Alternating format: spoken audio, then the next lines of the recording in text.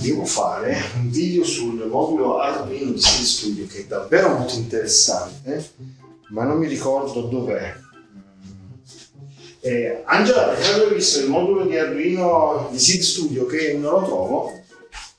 Quale?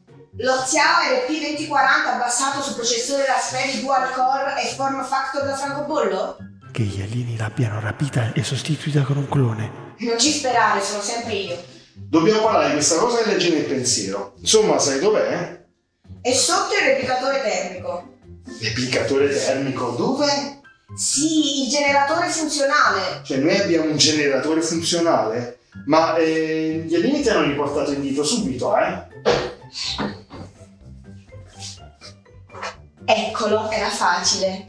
Ma non è che hanno fatto degli esperimenti su di te gli alieni mentre eri via? Ah, ah, prego tesoro. Grazie. Si fa che si porta indietro subito.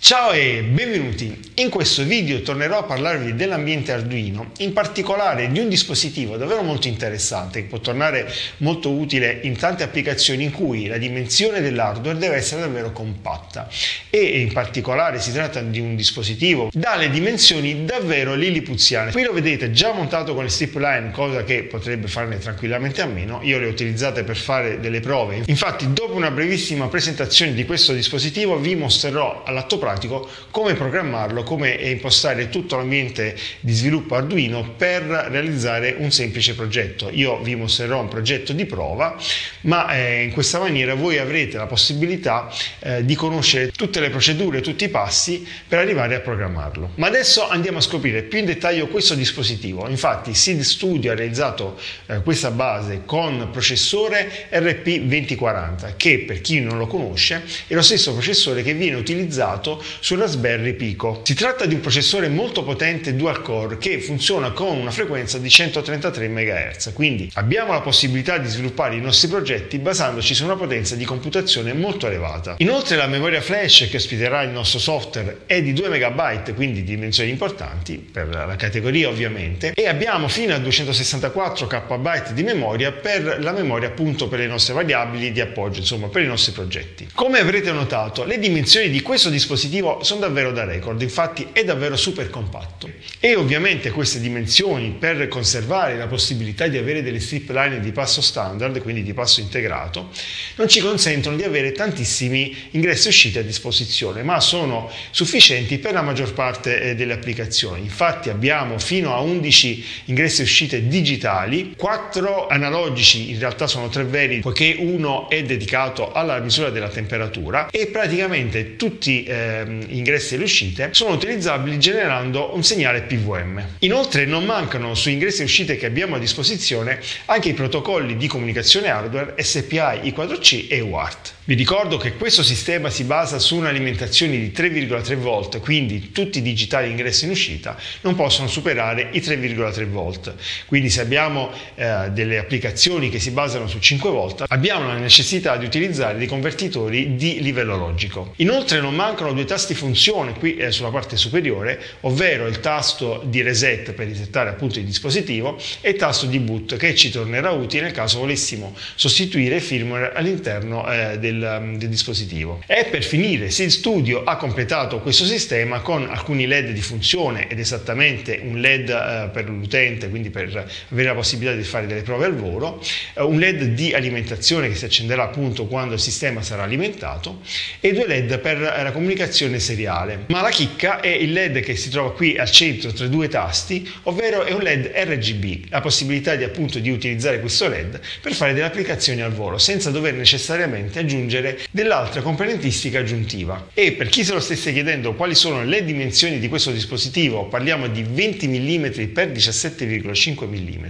quindi è davvero molto molto compatto, lo ripeterò ancora perché forse in video non si ha davvero la percezione, ma è davvero piccolo. Sulla mia unghia praticamente è grande quanto la mia unghia, è davvero piccolissimo. Gli ambienti di sviluppo disponibili per questo dispositivo sono Arduino ovviamente e MicroPython e CircuitPython, quindi abbiamo una discreta scelta per programmare il nostro progetto tramite la porta USB-C Infatti questo dispositivo è dotato di porta USB-C, quindi con cavetto normalissimo USB, USB-C è possibile collegarlo al nostro PC per scaricare il nostro programma. Un'altra particolarità di questo dispositivo è che tutti i componenti sono alloggiati sulla parte superiore, mentre sulla parte inferiore praticamente abbiamo solamente i pad, abbiamo questi due pad che servono a collegare un'eventuale batteria, nel caso volessimo eh, farlo funzionare a batteria e abbiamo alcuni pad eh, di test, ma non ci sono praticamente componenti. Questo ci dà la possibilità di montare il dispositivo su un PCB più grande per mantenere le dimensioni del sistema finale molto contenute. Come promesso all'inizio del video vi mostrerò come impostare tutto l'ambiente di sviluppo Arduino per programmare questo dispositivo,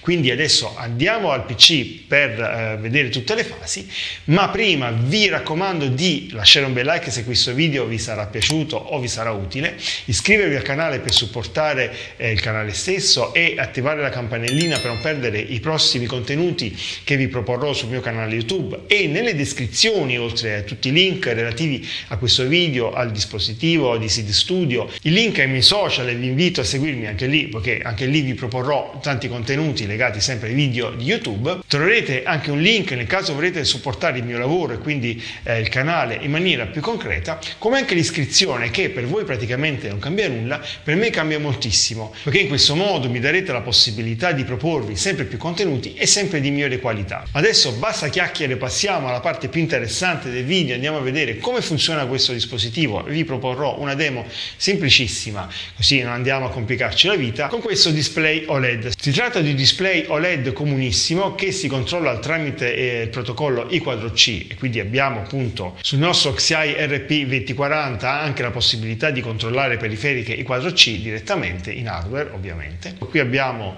eh, la strip line su cui collegare eh, questo, questo, cavetto, anche questo eh, si trova facilmente su Amazon e troverete tutti i link qui nelle descrizioni, troverete praticamente tutto. E adesso qui al display vi mostrerò quali sono i quattro collegamenti da fare dal display OLED al modulo Arduino e passiamo al PC per la programmazione. Ed eccoci al PC. Qui sulla mia destra ho approntato il setup molto semplice, eh, costituito dall'Arduino, il cavetto di collegamento e il display LED e come ho fatto prima vi mostro qui a monitor quali sono i quattro collegamenti per appunto collegare l'Arduino al display. Ho bloccato il tutto con del nastro adesivo per evitare che se ne vada in giro e l'unica cosa che ci servirà oltre tutto questo è un cavetto USB USB-C per collegare il nostro Arduino al PC. Vi suggerisco prima di collegare il modulo Arduino al PC di andare a caricare le librerie nell'ambiente di sviluppo Arduino in modo che eh, quando Windows andrà a installare i driver di comunicazione del modulo Arduino farà molta meno fatica, sarà tutto molto più semplice. Ovviamente per fare questo è necessario che nel PC sia già installato l'ambiente di sviluppo Arduino e se non lo sapete fare vi rimando ai video precedenti in cui parlo appunto di questi sistemi Arduino e delle programmazioni dove spiego in maniera molto più in dettaglio come si fa. Comunque vi lascio qui nelle descrizioni descrizioni qualche link che vi tornerà utile per andare a vedere dei miei vecchi video dove appunto tratto questi argomenti in maniera più specifica. E rispondo a una domanda che mi è stata posta da alcuni di voi. Quando andate a scaricare l'ambiente di sviluppo Arduino dal sito di Arduino, quello ufficiale, a un certo punto vi chiederanno un pagamento. In realtà eh, c'è scritto che è una donazione, però lo mettono in modo che sembra che sia necessario. In realtà il sistema di sviluppo Arduino è gratuito e quella che vi chiedono è una donazione. Basta eh, skippare quella pagina e vedrete che partirà il download del pacchetto di installazione di Arduino. Per installare nell'ambiente Arduino le necessarie librerie per lavorare su questo modulo Arduino dobbiamo andare nella sezione file impostazioni, quindi aprire ovviamente l'ambiente Arduino e eh, qui dove c'è la sezione URL aggiuntive per gestore schede. In questa sezione, eh, schiacciando questo tasto, è possibile eh, aprire questa finestra più comoda per vedere tutte le righe installate. Bisogna aggiungere questa stringa, questa stringa che eh, appunto ho evidenziato, ve la lascio anche nelle descrizioni così vi sarà più facile recuperarla. Una volta eh, cliccato su ok e ancora su ok su impostazioni, bisogna andare in strumenti e esattamente in gestori schede di, eh, della sezione schede. Quello che interessa a noi è, è dove c'è scritto SID Xiao RP2040. Non vi potete sbagliare, io ovviamente già l'ho installato. Nel caso vostro avrete qui eh, sulla destra il tasto installa, voi schiacciate il tasto installa, si installerà e questa fase è completata. Una volta completata questa fase si clicca sul tasto chiudi e saremo pronti a collegare il nostro Arduino al PC con il cavetto di cui vi parlavo prima faccio il collegamento adesso per voi la prima volta che farete il collegamento tra Arduino e il PC, ovviamente Windows dovrà andare a installare tutti i driver, ma questo accade solo la prima volta, le successive volte Windows lo riconoscerà automaticamente. Vedremo che si accende il LED rosso che è il LED relativo all'informazione che ha alimentato, il sistema sta funzionando. Le ultime configurazioni da fare nell'ambiente Arduino per lavorare su questo particolare modulo eh, di SID Studio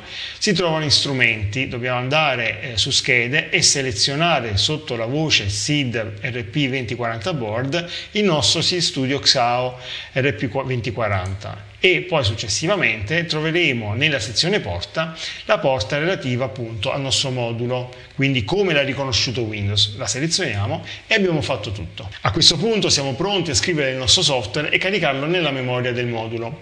Io per fare un esempio ho eh, recuperato un, eh, un esempio che si trova facilmente anche su internet con le dovute modifiche per adattarlo a questo modulo specifico. Una piccola ma importantissima nota di cui vi voglio parlare è che nella prima installazione solo per la prima volta in cui andrete a collegare l'Arduino al PC è che praticamente non tutti i driver andranno installati correttamente. Solo per la prima volta bisogna andare in questo indirizzo, praticamente cuser nome utente, il vostro nome utente, qui c'è scritto Claudio, ma eh, nel caso ci sarà Giuseppe, Giovanni, insomma quello che avrete voi, updata local Arduino 15, package, seed Arduino hardware RP2040 2.7.2. In questa cartella troverete un file che si chiama post underscore install.bat, comunque a monitor vi sto mostrando tutto.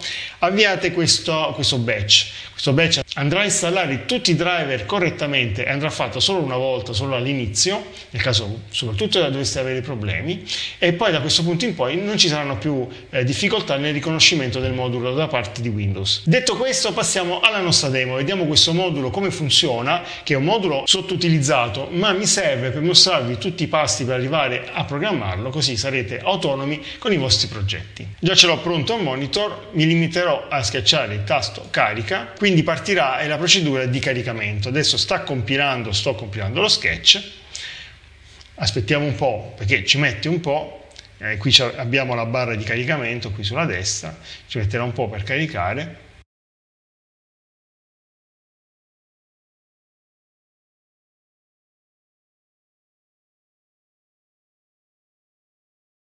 Ed ecco che sta, lo sta caricando in questo momento.